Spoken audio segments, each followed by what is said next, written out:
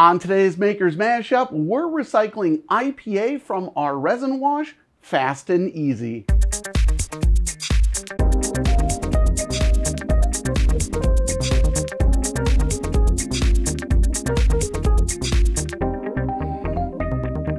Welcome back, makers. Today we are talking about recycling our IPA from our resin wash.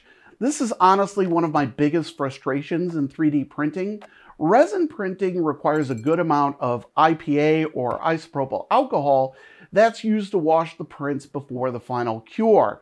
And while there are alternatives available like water washable resin, IPA does such an outstanding job, it really remains my go-to for parts cleanup. And in my workflow, I maintain a two-stage wash process where I have a primary wash and then a secondary wash that's much cleaner to clean up the final parts for curing. Now, this process for me requires over four gallons of IPA in my wash and cure, which is not a trivial investment. So I want to be able to reuse and recycle as much IPA as possible from my wash process. Like many of you, I have seen a number of people who have tried things from coffee filters to distilling the IPA to vacuum processes, and it all seems to work okay, but the process that seems to work well for everyone is decanting your IPA.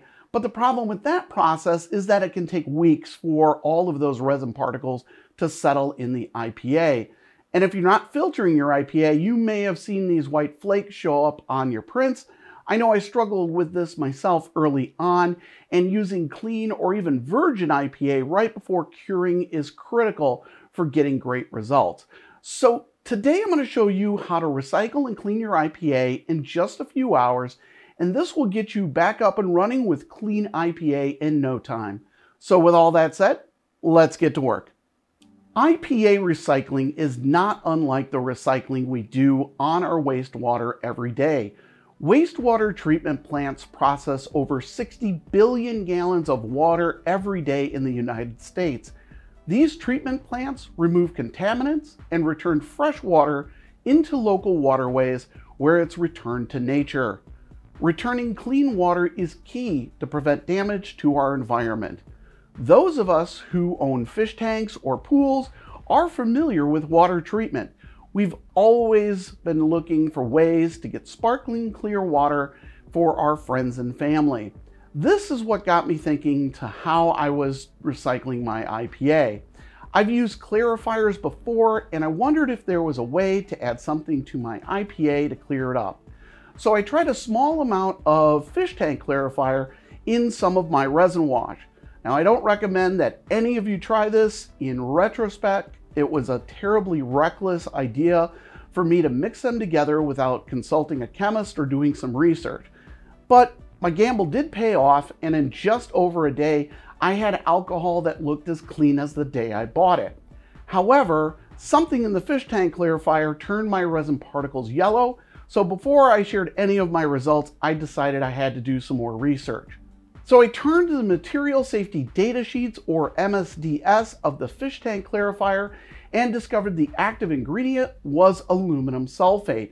Aluminum sulfate, or often referred to as alum, is a common food additive and has been repeatedly proven safe for humans, which is probably why I found it in the fish tank clarifier but this has been used for decades to clean water in waste treatment plants. With that information, I reached out to Chemistry Stack Exchange and was able to confirm the safety of aluminum sulfate and how it would react with alcohol and photopolymer resins. Aluminum sulfate is only slightly soluble in alcohol and in everyday quantities not reactive with alcohol. So I started researching how wastewater treatment plants used aluminum sulfate in the process of cleaning water. Aluminum sulfate works by causing small particles to coagulate together for easy removal. The water treatment process involves far more than just adding a single chemical. How the water is mixed and for how long plays a big part in the process. So over the next couple of weeks, I spent time researching and testing different concentrations of aluminum sulfate in the resin wash to see what worked best for coagulating resin particles and removing them from my isopropyl alcohol. I was most successful using a process that added 25 grams of aluminum sulfate to 150 milliliters of distilled water. Water dissolves the aluminum sulfate into a solution that I then added to my resin wash. I then needed to mix the solution at a high speed for about 10 minutes and then a slower speed for 30 minutes. This mixing helps the aluminum sulfate to coagulate the small resin particles. After mixing for about 45 minutes, you simply need to let the solution rest and wait for the large particles to fall to the bottom of your container. You can see how quick this process is. Just moments after adding the aluminum sulfate solution, you can see big clumps forming in the beaker. While the slow mixing continues, you can see these particles starting to collect at the bottom. Once you let it rest a few hours or even overnight, the results really speak for themselves. It's clearer and doesn't contain those flakes that can affect our prints. Now, 150 milliliter solution treated one liter of resin in about four hours. Once the particles settle, you simply need to decant the IPA off the top and save the contaminants for disposal. Now, while I used a magnetic stirrer and a beaker here, you can do the stirring yourself or you can let a wash and cure do all the mixing for you. If you mix the aluminum sulfate solution by hand and then add it to your wash and cure container, you can use your wash station to do the mixing for you. Just scale the recipe for a larger amount of resin wash. There's one liter here, and I keep about seven to eight liters in this container. Then you're gonna to want to let this run for about 20 minutes, shut it off, and then manually stir it occasionally for about another 20. Once you let it all settle, decant the IPA into another container. I found that ordering a second one of these works great, makes the process super simple. Now, make sure once you do decant that IPA into a separate container, you immediately clean out your wash station. You don't want any of the resin sludge to start solidifying at the bottom as that may damage your wash and cure. I recommend the beaker approach, but I had good results using either. Also save the alcohol in your waste container as well. After about a day, the particles settled in that container and I was able to decant a huge amount of clean IPA into my wash. In the end, all I had left was a lot of white sludge at the bottom of this container. I'm going to try to cure this sludge in the sun, but if I can't, I'll just turn it into my local hazardous waste facility for disposal. Now, using this recycled IPA, I haven't had any problems or issues with my prints. Many of you, I'm sure, are worried about diluting the IPA with the water. I believe the majority of the distilled water and aluminum sulfate is being removed during the decantation process as water is heavier than alcohol, so we're pouring off all that good alcohol.